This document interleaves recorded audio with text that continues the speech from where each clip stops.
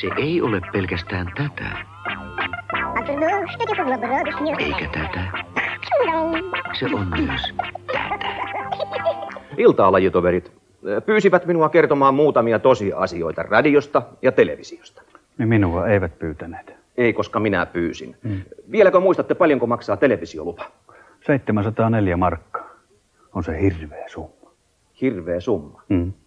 Televisiosta tulee ohjelmaa yli 15 tuntia, joka vuorokausi, koko maahan. Radio soi yötä päivää. Niin, niin pauhaa rokki, että hetken rauhaa saa. Tulee sieltä muutakin kuin rokkia. Koska radio lähettää yli 150 tuntia ohjelmaa vuorokaudessa. Ei voi lähettää. Ei mahdu. Vuorokaudessa ei ole kuin 24 tuntia, ainakin meillä päin. Niin, mutta kaikilta kanavilta yhteensä yleisradio